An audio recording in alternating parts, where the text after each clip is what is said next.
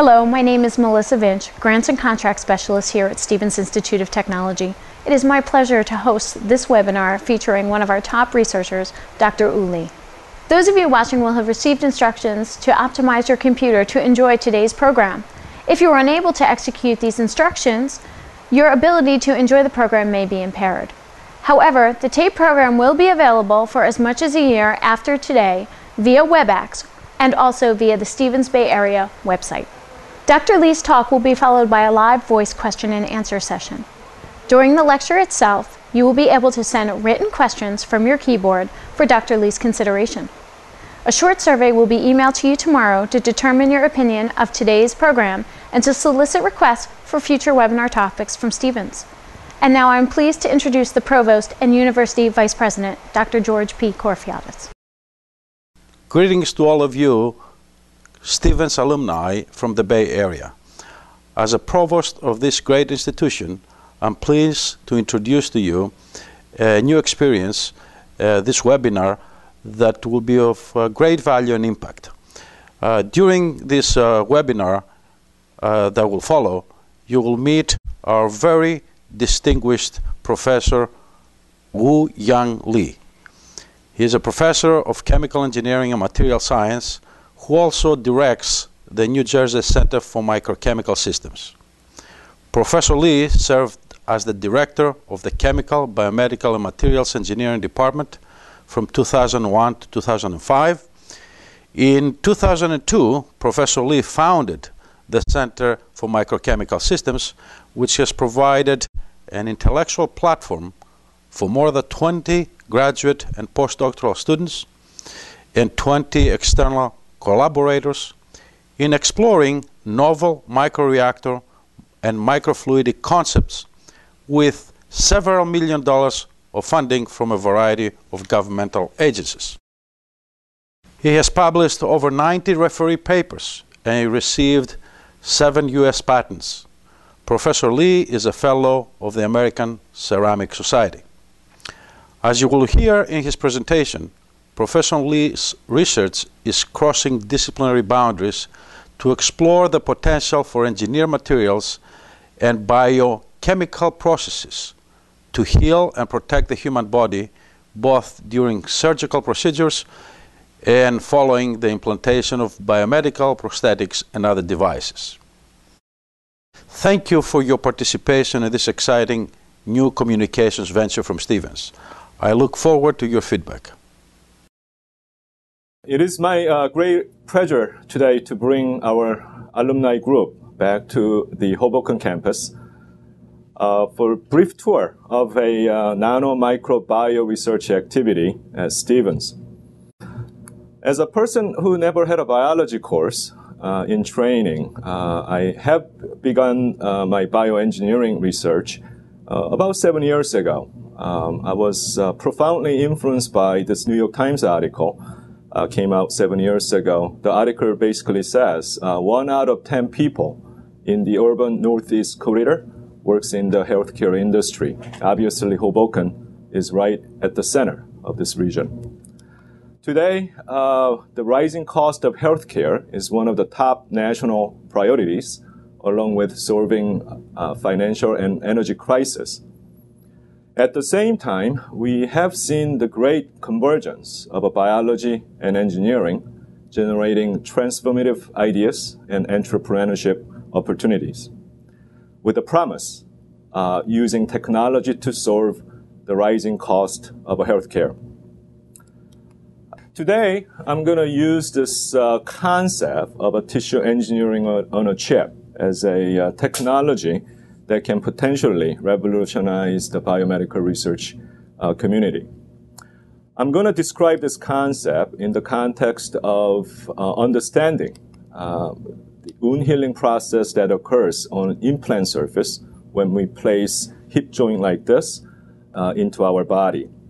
If we think that if we can understand this process better and simulate this uh, process of wound healing in vitro, uh, we believe that we can build more predictable infection model of modern uh, biomedical implants, where we can study how the infection occurs on the implant surface and more importantly, uh, use as a uh, tool to uh, study the efficacy and safety of potential solutions.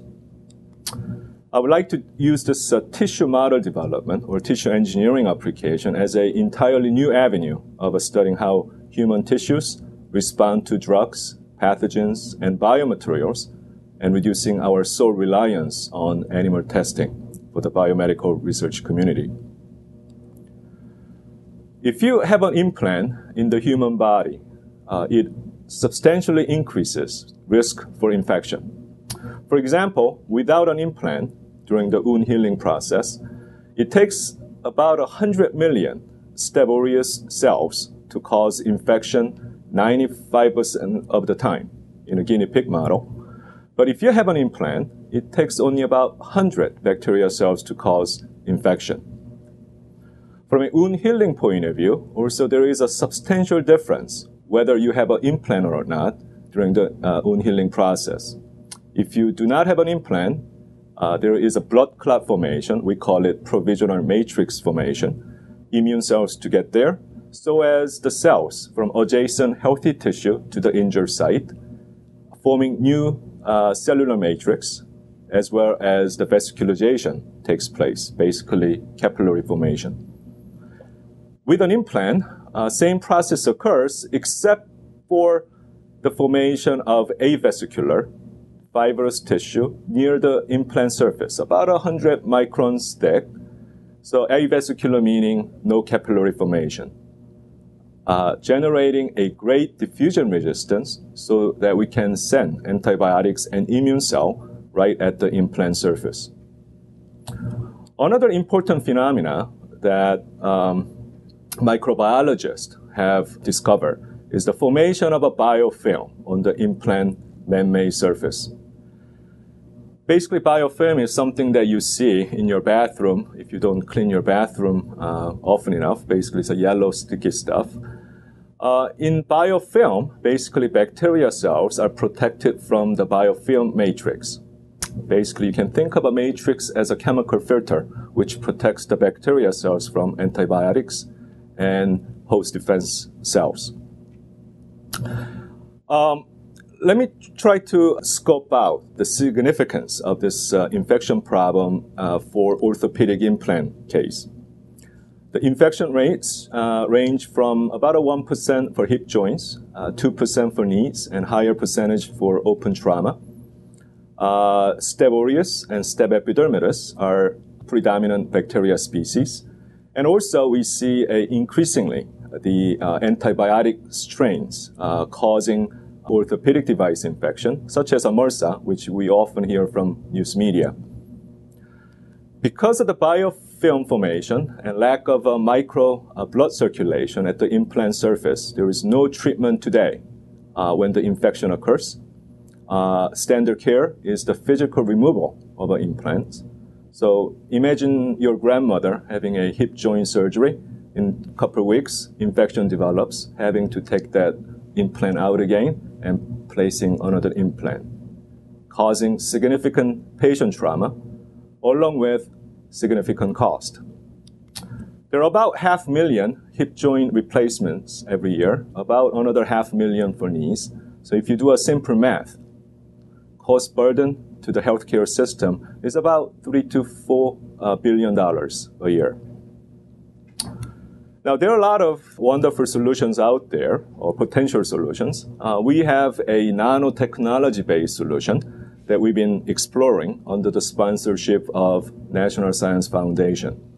We have an interdisciplinary faculty team along with the three doctoral students working together uh, to uh, come up with the solution. Uh, and Professor Matt Libera, uh, my collaborator, is the lead investigator in this, of this project. Our concept is uh, very simple. Basically, we're going to use these uh, blue nano hydrogel particles to promote the wound healing by having host cells, like a bone cells in this case, osteoblasts, to adhere to the implant surface. But at the same time, we want to design and make these uh, purple nanohydrogel particles uh, to make the implant surface to be repulsive to the bacterial cells, ba- basically short circuiting the pathway to biofilm formation. Now, we are working on this concept. We're very excited about it. But the real challenge comes after, let's say, we're finding out our uh, solution really works out in the laboratory. But there are going to be some significant translational challenges. Uh, our concept probably today uh, categorized as something that will make orthopedic device less susceptible to infection, mainly for marketing purposes. If we want to get a get to the next level as a uh, infection resistant coating to get FDA and insurance approval, then we're suddenly talking about $300 million development activity, largely due to uh, huge clinical studies that we need to perform because of low infection rates. And perhaps more fundamentally, the uh, disparity between lab data and animal test data. And also uh, ambiguity between animal response and human response. And today, to develop any new drug, it takes about a billion dollars and 10 year period. Uh, since uh, infection is an acute disease, uh, uh private industry is not investing uh, enough to uh, discover and develop new antibiotics despite the rapid emergence of antibiotic resistant strains. Clearly a brewing public health crisis. So in order to address these challenges that uh, we've been thinking about, the development of a three-dimensional tissue model as a alternative method to animal testing. Uh, in the framework of our model, uh, as we envision today, uh, we want to have the ability to simulate this formation of a poorly vascularized tissue between healthy tissue and implant.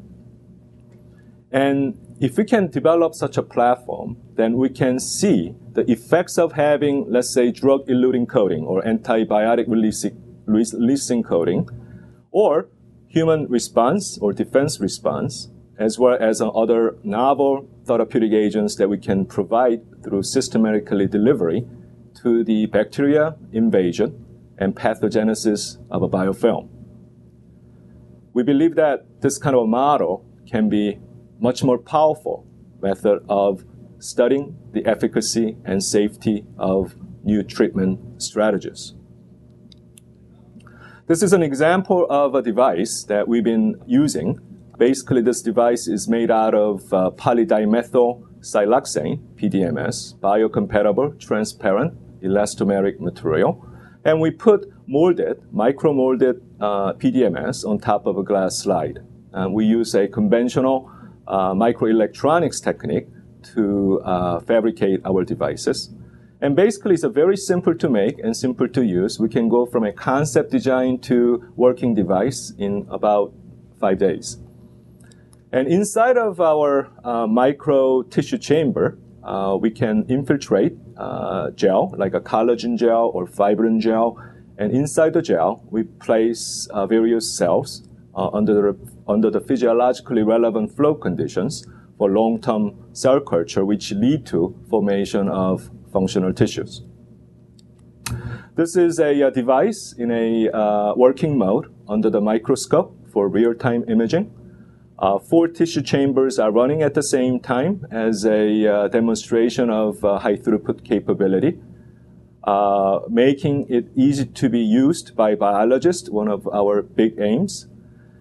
Uh, right now, we're focusing on forming a functional tissues, such as bone and soft tissues, uh, with emphasis on how the vascularization occurs during this tissue formation. This kind of platform uh, obviously is not just for wound healing and infection studies, but as well as, as the other diseases. So this is an example of a real-time imaging capability uh, showing uh, osteoblast bone cell development over a 14 days. So from day one to day four, we see a significant proliferation of the cells. From day five to day 12, uh, development of a mature extra extracellular matrix. At day 14, uh, we stain uh, to highlight the areas where calcification occur uh, as evidence of a mineralization. Here we are seeing uh, three major characteristics of a cell development, uh, proliferation, uh, extracellular matrix maturation, and mineralization, basically showing that we can form a bone-like tissue structure inside of our microchamber. The experiment that we're really excited about right now is to uh, see, generate the evidence uh, uh, for relating the direction of interstitial flow in the human body to the uh, self-organization of uh, cells to form the uh, capillary network, particularly the orientation of their particular network. We're here working with the cancer and endothelial cells, and basically this arrow indicates the direction of a flow, and we see evidence of a, a endothelial cells spreading uh, and elongating along the direction of flow. Initial evidence that showing capillary formation or its orientation of a formation is dependent on the direction of an interstitial flow. This information we're trying to prove is very important in building our tissue model because we believe that this may explain the, uh, the reason for the formation of a avascular fibrous tissue right at the implant surface. Very important uh, uh, part of our tissue model development. So these simulations show that between, again, healthy tissue side and then coated implant side, there is a provisional matrix with the basically representing the blood clot formation. As the wound healing process occurs, the uh, capillary network on, in the uh, health tissue side will not extend it into the uh, uh healing wound. Uh, mainly because there is no flow that's normal to the implant surface. But if you remove the implant, basically it reestablishes the, the uh, interstitial flow to go through, and so therefore capillary network can be extended into the region that's being healed.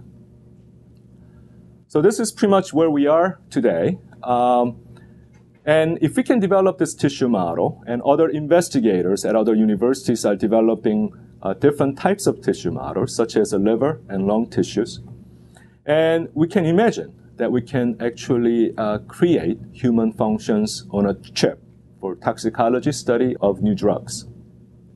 It's really, uh, I think, fascinating uh, research concept.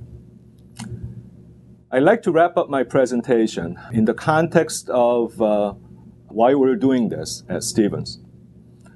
In a knowledge-based economy, uh, there is a clear role of a technological university like Stevens. Uh, between industry and university, uh, we are here to uh, generate innovation, solutions to real problem, and providing a new enterprise opportunities. Obviously, there is a regulatory relationship between government and industry, and between university and government, there is a, a responsibility of a new knowledge infrastructure creation. In my mind, uh, building or developing in vitro tissue models belongs to the category of a new knowledge infrastructure creation Whereas our nanotechnology based coating solutions to fight infection probably resides in the innovation category.